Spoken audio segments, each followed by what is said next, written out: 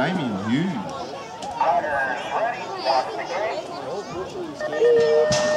Oh, good point snap there. It uh, looked like it might have been 71 and Muldy. He had a great start. So too Barnesy, uh, right there trying to keep up uh, in between the middle them. Just got squeezed out.